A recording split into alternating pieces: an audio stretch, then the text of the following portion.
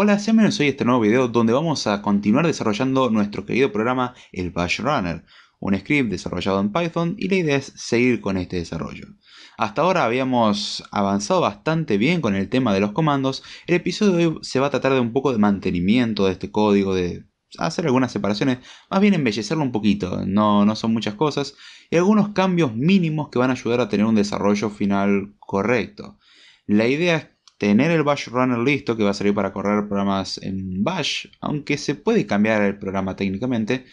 Y luego en base a esto crear uno nuevo que sea como un Bash Compiler o algo así, a pesar de que su Builder, a pesar de que su nombre indique que vamos a compilar cosas, no, no va a ser así, simplemente vamos a generar eh, archivos de scripts para poder ejecutarlo gracias a la base que nos da el bash runner. Bash runner va a tener algunas limitaciones, por ejemplo, hay cierto tipo de comandos que no vamos a poder correr, cosas que con el bash builder, bash, como no sé, veremos ya después cómo lo vamos a llamar, vamos a tener la posibilidad de hacer.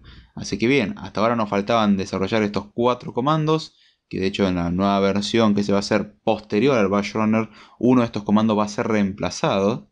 En vez de ser run va a ser build o compile o algo por el estilo. Creo que va a ser build, suena, suena hasta cierto punto mejor y creo que nos ayuda con la forma corta de los comandos. Pero bueno, en el episodio de hoy la idea es hacer un poco de mantenimiento del código, ver algunas cuestiones a corregir y ya a partir de acá sí seguir desarrollando los comandos.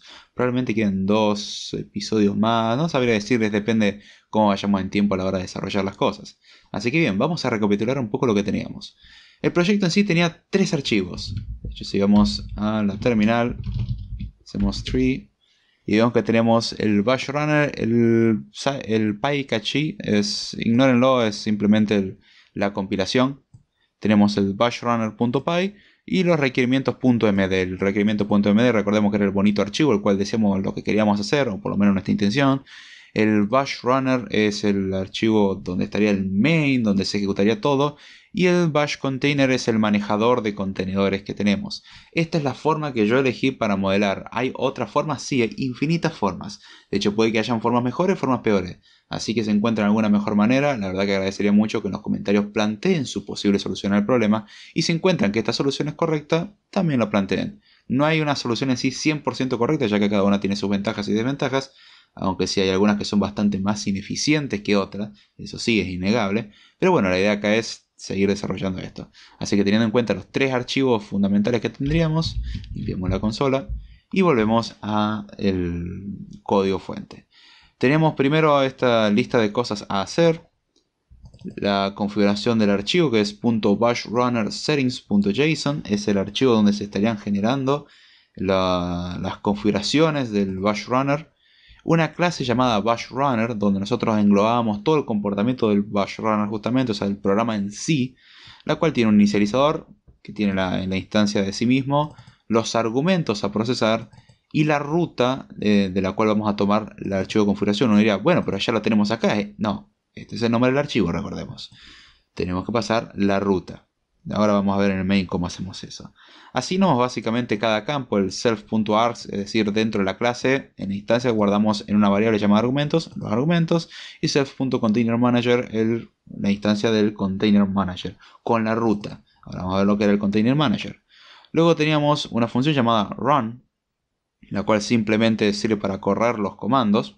Acá extraíamos los comandos, imprimíamos el contenido íbamos analizando caso por caso qué es lo que queríamos hacer. Puede que reordenemos esto en, base a cómo querramos trabajar. El orden de esto sí importa, de hecho, pero bueno. Teníamos después la parte interna con la cual íbamos a, correr las cuestiones. Teníamos el imprimir el contenedor actual, crear un nuevo contenedor, configurar el contenedor actual, imprimir la lista de contenedores, eliminar eh, un, contenedor o varios contenedores. Y luego finalmente tenemos una función llamada parse arguments, la cual se encarga de parsear toda la información. Tenemos un bonito parser. La verdad que tener estas cosas simplifica mucho la historia. De hecho, eh, si vamos a acá, hacemos un Python bash runner y ponemos un guion H para que nos imprima la ayuda, qué hermoso tener todo esto con toda la ayuda. Cada uno de los comandos ha explicado qué es lo que debería de estar haciendo. Esto la verdad por lo menos para mí es hermoso. Me encanta que sea así. Eh, justamente le voy a usar ArcParse de simplificarnos el tema de parsing. Es bastante poderoso, podemos cambiar el orden y todo. Va a haber un solo caso en el cual no vamos a poder hacerlo, pero eso lo vamos a ver después. Así que bien, tenemos acá toda la parte del parsing. Y tenemos finalmente la función main donde vamos a parsear los argumentos, generar la ruta del archivo donde tendría que estar el archivo de configuración, ejecutar el bash runner y darle a correr. Finalmente nos fijamos si estamos ejecutando el, el script este como si fuese el main, ejecutamos el main y si no, bueno, que no haga nada. ¿Qué pasaría? No tendríamos nada de esto ejecutándose. Si alguien cargara este archivo en otro módulo, no se ejecutaría nada. Tendría que uno hacer todo este proceso que está en el main o llamar desde aquel el main, lo cual sería la verdad bastante, no sé, inútil. Pero bueno, para gustos colores, como quien diría. Luego teníamos el archivo donde están todos los componentes para manejar justamente los contenedores, en los cuales tenemos varias clases. Hay algunos to-do que algunos incluso no van a ser necesarios de, hacer ya que se resuelven solos.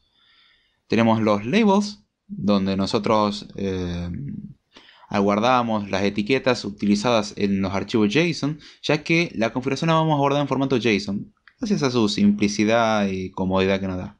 Así que vamos a guardar en JSON como habíamos elegido.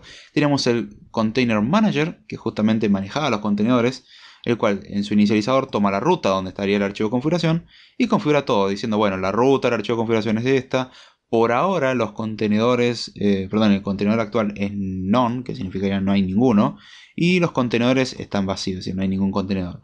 Luego nos fijamos si no es necesario inicializar. El init need lo que va a hacer es primero comprobar si es necesario inicializar, que acá lo vemos. ¿Existe el archivo de configuración? Si existe, suponemos que está todo bien y devolvemos false, con lo cual no fue necesario. Si no fue necesario crear el archivo de configuración, vamos a cargar los datos. Ahora, si fue necesario, no es necesario cargar el archivo de configuración, ya que, bueno, como acabamos de crear el archivo de configuración, sabemos que está vacío, no tiene ningún, ningún contenedor actual, no tiene ningún contenedor creado, no tiene nada. Entonces, directamente con la configuración que tenemos hasta ahora, ya estábamos bien. Entonces, llamamos a la función write la cual va a escribir el archivo de configuración y, y retorna true, básicamente. Luego teníamos una función que era load from dictionary, que justamente carga la información desde un diccionario. O sea, tenemos la información en un diccionario y lo convierte en, una instancia de esto. Tenemos la eh, toDictionary. La función toDictionary hace lo, opuesto, justamente convertir la estructura actual en un diccionario.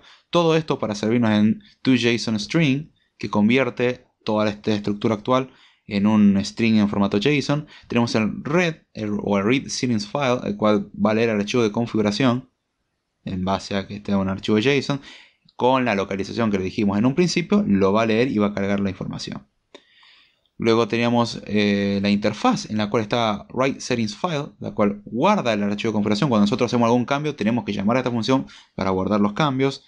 Tenemos el get container index, que justamente le pasamos el nombre de un contenedor y nos devuelve el índice en la lista de contenedores que dijimos que teníamos. Si nos da none, significa que no estaba. Finalmente tenemos el contenedor de comandos, que en un principio tiene el nombre para identificarlo, y la lista de comandos. No hay nada más, eso es todo. Tenemos una forma de convertirlo en un diccionario, el cargar de un diccionario. Sé que es ineficiente esta manera en el sentido de sintaxis. Hay una forma mucho más simple de hacer esto, por ejemplo, en el container, pero para no complicarnos mucho la existencia, voy por esta aproximación. La forma correcta sería llamar al dict que está dentro de cada objeto y ya está. Con eso hacemos el dump directamente. Pero bueno, lo dejamos así. Eh, finalmente tenemos acá la interfaz que para agregar un comando. Podemos agregar un comando a la lista de comandos. Y listo. Eso, esa es toda la magia. No, no hay mucho más. Eh, con esto ya tenemos la estructura base y entendemos cómo funciona. Y bueno, vamos a ir corrigiendo algunas cuestiones. Por ejemplo, vamos al bash runner. Tenemos todo esto. ¿Qué cosas podemos corregir? Bueno, vamos a buscar algún print tenemos el imprimir comando, el imprimir argumento, esos dos prints están bien. Y, vamos a buscar algún print. Por ejemplo, acá el que toma un argumento. Tenemos este, el contenedor actual es el S y luego el porciento current container. Esta estructura está bien, la hice como una demostración. Hay una mejor manera, un poco más clara y me gusta más como queda, sinceramente. Puede ser un poquitito más larga, pero no causa tantos problemas con esta sintaxis. Hasta ahora no nos causó ningún problema, sinceramente. Pero igual recomiendo pasar a la nueva sintaxis o a la sintaxis alternativa, que es en vez de poner el tipo de formato que es, por ejemplo, porcentaje S, que para lo que vamos a hacer nosotros va a ser imprimir simples strings sin dar mucho más formato, lo vamos a reemplazar por una llave abierta y una llave cerrada. Y luego del string vamos a poner punto .format, abrimos paréntesis, le pasamos los argumentos que querramos reemplazar dentro del string y cerramos paréntesis. Si leemos ahora nos quedaría print, el contenedor actual es, y algo entre llaves. Acá se puede poner un índice que sería el índice del argumento que le pasamos format. El primer índice va a ser un 0, el segundo índice va a ser un 1, así como si fuese un arreglo accedemos a cada elemento dentro de, los argumentos de format como índices de arreglo.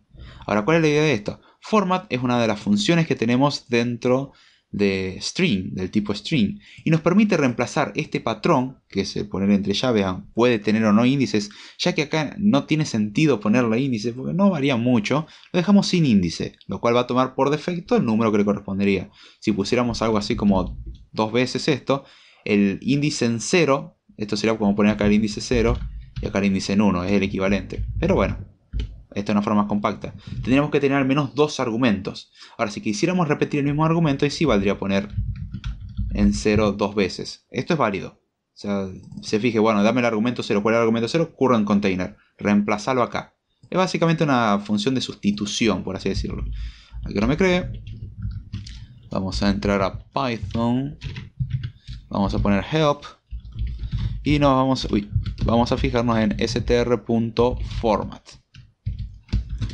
Ahí y tenemos str.format eh, retorna una versión formateada de s donde s es un string, pues tenemos s.format, s tiene que ser un string, usando sustituciones de argumentos y de no args, que serían los argumentos con etiquetas, se pueden dar etiquetas y todo, no vamos a ver todo eso, ahora ya es una cuestión interesante y un poquitito más avanzada de, de Python.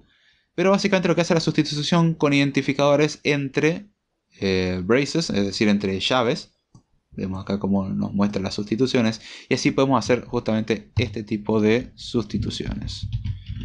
A ver, ahí está. Entonces, acá lo que hacemos es borrarle el índice y lo que va a hacer es sustituir esto que está entre llaves por el primer argumento que maché. Si tenemos más de uno, va a ir recorriéndolos en órdenes. Y si tenemos el primero, va a reemplazar por el primero, el segundo lo va a por el segundo y así sucesivamente. Salvo que le indiquemos con un índice algo diferente. Por defecto, toma el orden. Quiero que se entienda, ¿sí? ¿Qué otro print tenemos? Bueno, acá abajo tenemos otro print. Vamos a hacer lo mismo. Vamos a poner acá entre llaves esto.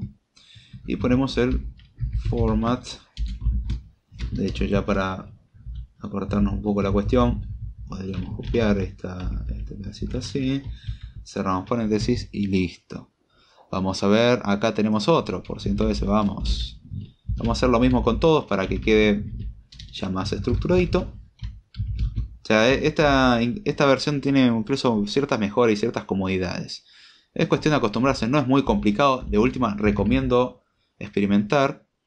Eh, el contenedor, ahí nos da, justamente acá tenemos algo mal, esto nunca tiene error porque nunca lo ejecutamos, pero eso es lo que tiene Python y que no me gusta en particular, que hay errores que existen y no los notifica hasta que se ejecuta.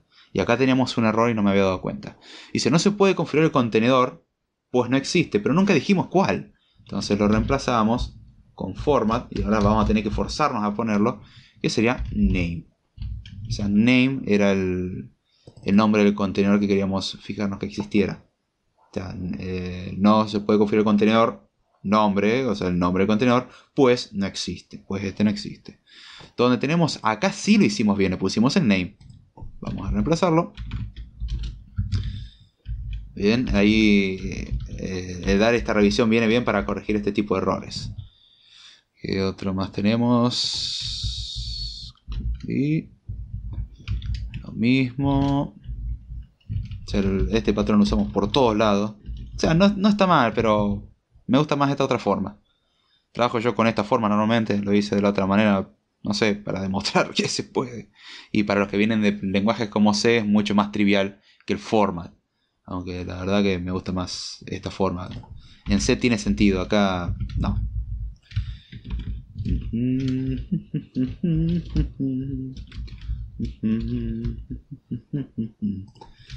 Acá lo mismo.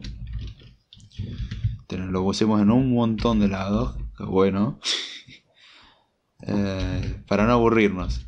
Por si algún día nos aburríamos, no sé cómo hacen, pero no sé, si nos aburríamos, tenemos varios para reemplazar. Eh, a ver, que no falte ninguno.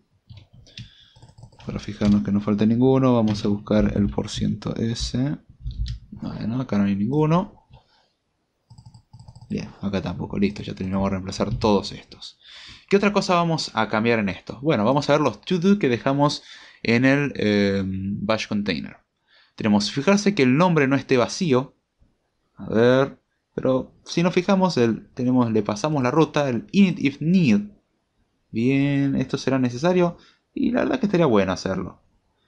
Para esto, en vez de comprobarlo acá, vamos a comprobarlo acá en el main. Y ya que estamos voy a reemplazar, vamos a empezar a, separar por secciones el código. Sé que no es la mejor manera, pero por lo menos con esta manera de comentar separamos así las distintas secciones. Copio esto.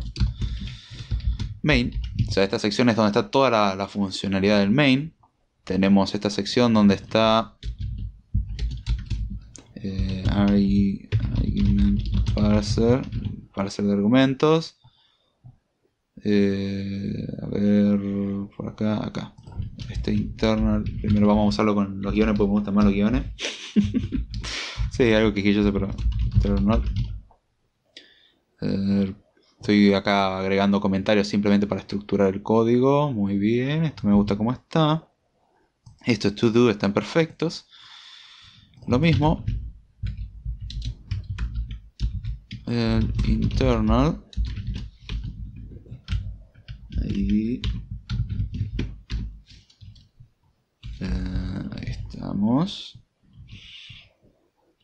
De hecho, vamos a poner acá, vamos a poner como labels. Otra sección, o sea, lo voy separando el código en secciones. Este es container manager. Ahí tenemos esta parte interna. Bla bla bla. Mismo acá, interface, interfaz. Eso, muy bien. Y eh, container o command container. Sí, hay una pequeños problemas así de consistencia en cuanto a, a los nombres. Hay cosas en español y cosas, y cosas en inglés. Cosas que pasan, ¿no? Todo por no poner comentarios en inglés, pero si pongo los comentarios en inglés puede que no se entienda. Entonces, a pesar de que pongo los nombres variables y cosas en inglés porque estoy acostumbrado a eso, eh, la idea es hacerlo así. le va a resolver muchos problemas. Este interno. Pero no, no afecta al funcionamiento del programa, son simples comentarios. Ahí, bien. Interface. Listo. Listo, ya, ya pusimos algunos comentarios para estructurar esto mejor. Fijarse de que el nombre no esté vacío. Podríamos fijarnos acá. O podríamos fijarnos en el Bush Runner. Ahora, otra corrección que quiero hacer antes ya para que esto tenga una mejor consistencia es que, de hecho, si vamos a darle a correr al Bush Runner, vemos que nos imprime el namespace y la lista de comandos. ¿Y dónde sacamos esto? Y bueno, de acá, el de soft.args sacamos los comandos y los argumentos y nosotros imprimimos los comandos y los argumentos. Siempre vemos que los argumentos están vacíos. ¿Por qué fui por esta aproximación? Para simplificarnos por ciertas cuestiones con el run, o sea, eh, perdón, con el add.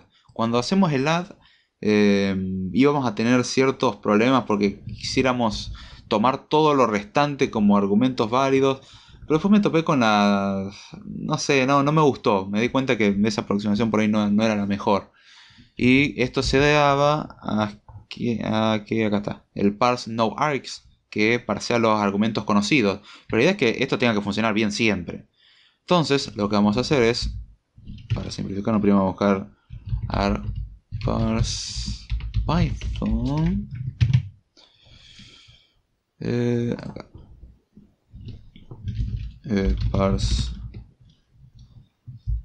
no acá está. Parse no args args is none. Namespace is none por defecto. Substance script made only parse a few of the command line arguments. Parsing bla bla bla bla an argument to another script program. Bien básicamente la idea es que va a parsear lo que puede y lo que no bueno que quede como argumento. No es tan mal la aproximación pero hay una forma mejor de hacer esto y la, una cuestión que tiene eh, ArcParse es si nosotros ponemos, eh, por ejemplo, el, a ver, vamos a poner el guion H para que nos muestre. Tenemos el add. El add era el guion A. No, el add no, el create era guion C.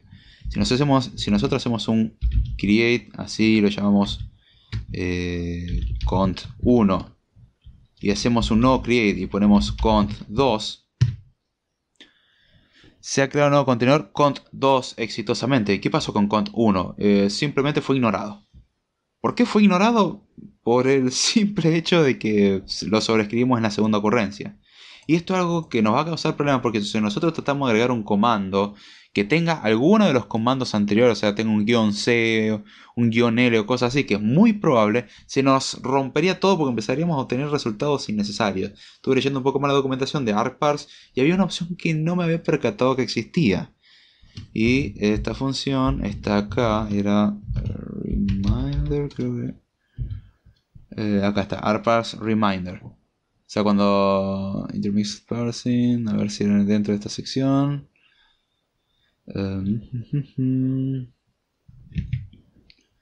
Um, acá está. Es la que yo estaba buscando. Our reminder. Other reminding command line arguments are eh, into the list. O sea, se los pone en una lista. Cuando nosotros ponemos eh, este tipo de argumentos. Vemos acá tenemos un argumento y no tiene ningún problema en guardárnoslo como lista, que es lo que nosotros vamos a querer trabajar en realidad. Así que bien, vamos a cambiar un poquitito el parser Parece si nos metemos acá en add, le pusimos nargs como asterisco. Así que vamos a permitir en argparse acá eh, reminder, reminder se llamaba, ¿no? Sí, reminder. Y le pasamos acá en el argumento que queríamos permitir justamente el comportamiento. Ahora vamos a ver algunos ejemplos, no se preocupen si no están entendiendo. No lo expliqué muy bien que digamos, así que no, no pasa nada. Lo voy a reemplazar por Vamos a probar si esto eh, puede correr. Pues este ya existe, bien, no tuvimos ningún problema. Y tenemos eh, la lista vacía. Otra modificación que vamos a hacer con esto para que ya esto quede un poco más consistente también. Vamos a acá donde empezamos a correr las cosas. Y tenemos que estamos parseando las cosas con eh, parse no args. Vamos a reemplazar por parse args. O sea, parsear los argumentos directamente. Vamos a considerar que todo lo vamos a poner bien.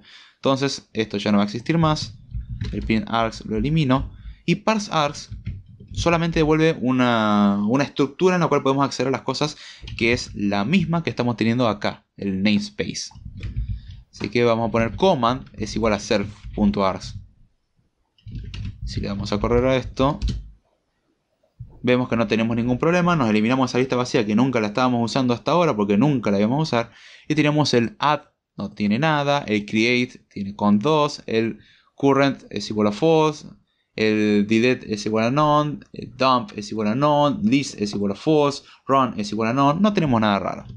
Ahora, ¿qué pasa si nosotros hacemos ahora un, por ejemplo, un create, así, y le ponemos un, no sé, cont 3 y ponemos un, era, a ver, era add, era con A, sí, guion A.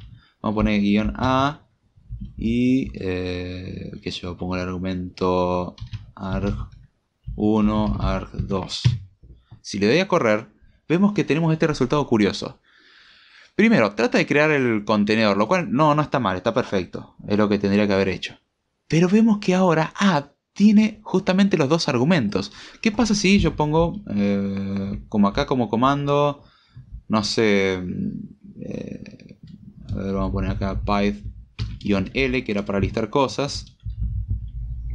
ahí y ponemos ahora el guion A y le agregamos por ejemplo el comando ls-l y le damos a correr. Vemos que nos da la lista de, comandos que tenemos en cont 1, cont 2 y cont 3, pero al mismo tiempo tenemos algo muy curioso. Dentro de eh, add tenemos el ls y tenemos el guion L. Nos toma los argumentos, pero guion L era un argumento que teníamos permitido en Bash Runner, pero como marcamos el guion A como con reminder, o sea, la cantidad de argumentos como reminder, lo que significa que el parser a partir de ese argumento va a dejar de parsear para el resto de los comandos y todo lo que venga de ahí en más va a ser considerado como un comando externo o como una lista de argumentos simplemente. Si ponemos que yo borramos el guion L acá y le vamos a correr, no va a hacer absolutamente nada porque no le indicamos que haga algo, le indicamos que haga el guion A, que era agregar, pero no tiene mucho sentido el agregar, ya que por ahora el agregar no funciona. Pero vemos que sí, los argumentos nos lo muestran de una forma muy bonita. El ls-l, que yo, ls-l desktop, cosas así. Y vemos que nos dice ls-l desktop. ¡Oh, qué lindo! Ahora podemos utilizar este comportamiento sin que el guion L sea tomado como otro argumento preexistente. Cosa que de la forma anterior eso no sucedía. Si iba a solapar, el guion A se iba a cortar en un punto cuando no queríamos que se corte. Y eso era un problema. Entonces estamos viendo que al marcar con reminder lo que estamos diciendo, bueno, va, ¿cómo va a aparecer esto? Python 3 significa empezar a ejecutar qué cosa, el bash runner. Bien, a partir de acá llama al argument parser. Se fija, parsea el argumento guion A. El argumento guion A está marcado con reminder. Significa a partir de acá todos los argumentos que vienen son componentes de guion A. Son una lista de argumentos, nada más.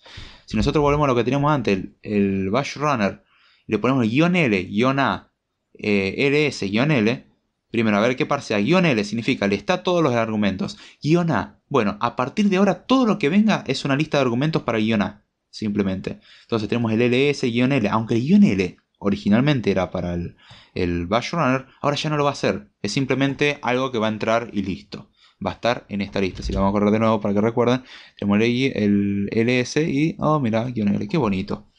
Es hermoso. Eso es lo, algo lindo que tiene el argument parser. Creo que hay una sola cosa que no me gustó el argument parser, pero de ahí más eh, me encanta en cuanto a funcionalidad. Está buenísimo. Y bueno, estamos viendo que ahora tenemos esta forma. Simplificamos el parseo de argumentos ya que siempre devolvemos una lista de comandos. O sea, tenemos el add, tenemos el create, el current, el delete, el dump, el list el run, el set y el workspace. El dump lo tenemos como none. Ahora vamos a, ver después de cómo crear el dump, pero ya sería cosa del próximo episodio. Pero la idea es que estamos haciendo un poco de mantenimiento esto y vemos que ya solucionamos un temita del parser. Eh, eso me gusta ya y espero que se haya entendido sinceramente. Este print eventualmente lo vamos a eliminar. Ahora es para ver qué cosas estamos teniendo para depurar, nada más. Ahora, ¿qué es lo que tenemos que corregir? Bien, primero, fijarse que el nombre del archivo esté vacío. Ok, vamos a fijar, ¿no? Acá tenemos muy bien que el nombre del archivo no esté vacío. Y bueno, ¿cómo nos aseguramos que esto no esté vacío? Y básicamente nunca va a suceder. ¿Por qué? Porque eh, cuando le pasamos no va a estar vacío nunca. ¿Por qué? Porque settings file va a ser al menos la ruta del usuario y eso le vamos a agregar al archivo de configuración. Que sabemos que el archivo de configuración siempre tiene algo. Entonces, esto nunca va a ser un string vacío. Con lo cual, si quisiéramos ejecutar el, el container manager por su cuenta, sí tendríamos que comprobarlo. Pero en este caso mm, no sería muy necesario. Aún así, si lo quisiéramos hacer, vamos a hacerlo simplemente para que se vea cómo se hace. Vamos a hacer un import acá de from sys import exit.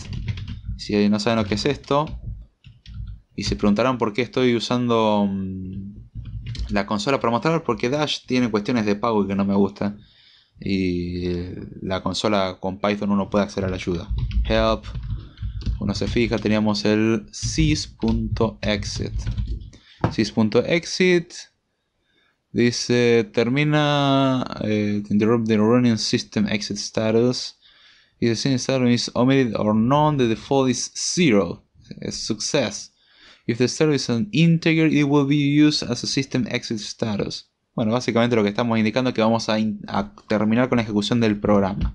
Entonces, ¿cómo solucionamos esto? Es simple. Dentro de esto, bueno, cargamos todo esto. Pero antes de cargarlo, vamos a hacer una comprobación.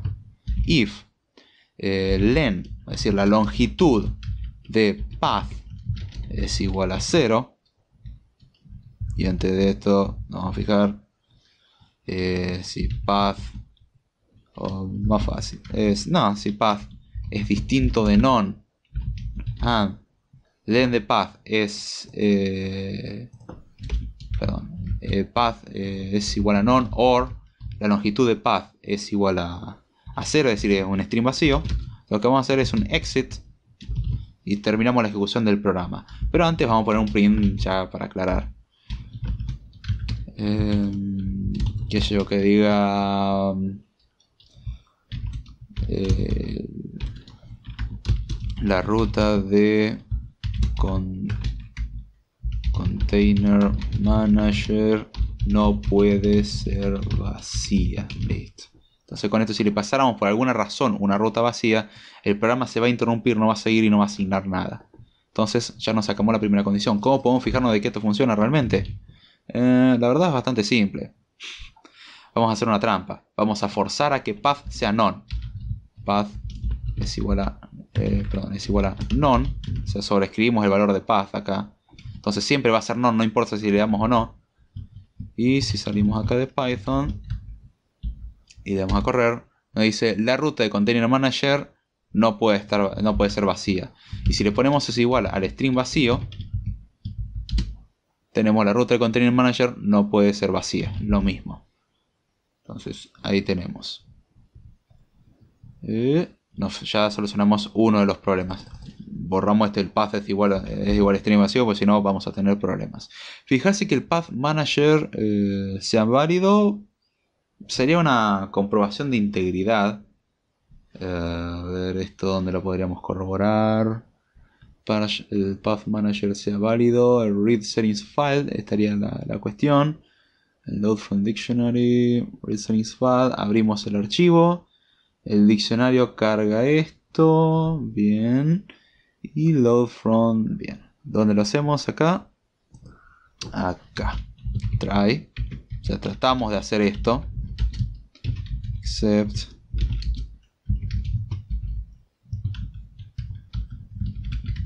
y read settings file except ahí vamos a ver trata de crear el diccionario o sea tratamos mejor dicho trata de leer el diccionario si tenemos algún problema al leer el archivo de configuración significa que esto está saliendo mal o sea, el, formato está mal, se corrompió probablemente el archivo de configuración, alguien le metió mano. Lo que vamos a hacer es que la ejecución del programa termine. Hacemos un, ex, eh, acá, un exit, o sea, terminamos la ejecución del programa, pero antes hacemos un print.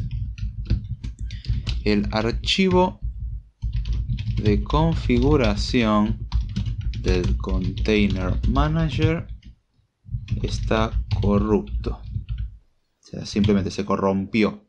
No lo podemos utilizar.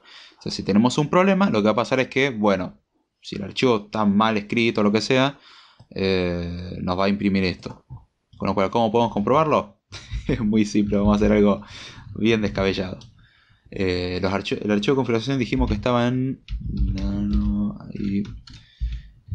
estaba en punto bash eh, runner, settings file, ahí. Tenemos este archivo JSON.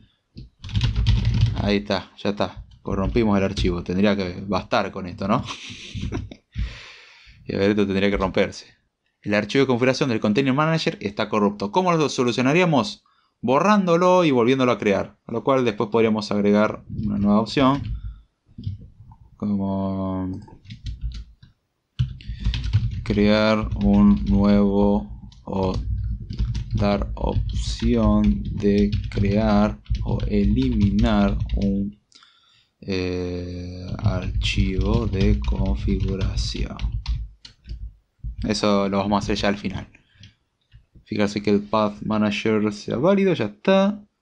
Y fijarse que la, la ruta que se le pasa no es non, lo acabamos de resolver sin querer. Así que muy bien. Nos queda un solo to do está bueno, nos queda solamente este, este ya vamos más sobre el final para solucionarlo. Pero bien, ya teniendo esto, vamos a cómo solucionamos por ahora este problema del, archivo corrupto. Eh, vamos a eliminarlo. Vamos a IRM, vamos a eliminar el archivito. Listo. Ahora sí, nosotros le diríamos a correr al, al Bash Runner. Eh, no, acá. El Bash Runner.